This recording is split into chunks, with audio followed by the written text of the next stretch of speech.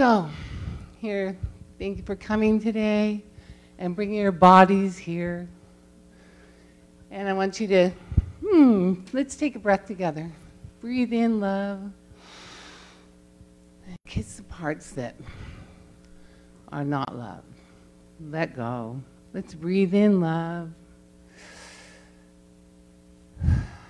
And as we center, I know there's power, there's an infinite intelligence, there is an infinity, it's an infinite power, always there, always present, ever present, omnipotent.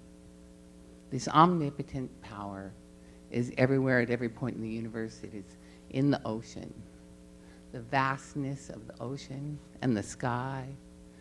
And this power, ever present, is God. It is love. It is the source. It is the thing itself. I know this power is within me. I know I have access to this power of good, of love, of light, of joy, of harmony, peace, and most of all, love. And I know that as I connect with this power, as I connect, as, I, as the vastness of the ocean, I am a drop in the ocean, and the ocean is a drop in me. And I know that this is true for all the qualities of God. As we access this power, I know it is in with me and within you, right here, right now. And I know this good, this God, this presence is love. And it emanates in our body, it runs through us, it emanates from us. As we access this power in our, the light of God, the love of God, clears the path. It makes crooked lines straight. And as I feel this energy run through our bodies here today, loving all the parts of us, uh, parts of our bodies that want to talk to us. And we say we love them and it gets better. Parts of our mind, we love it, it gets better.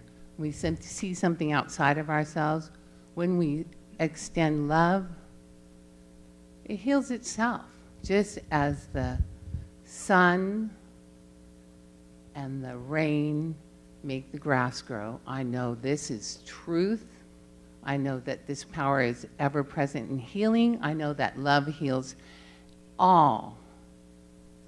That is a quality of God that we can have within us, that we take with us, and we let our light shine as we, we embrace all the love that is here today and bring it out into the world.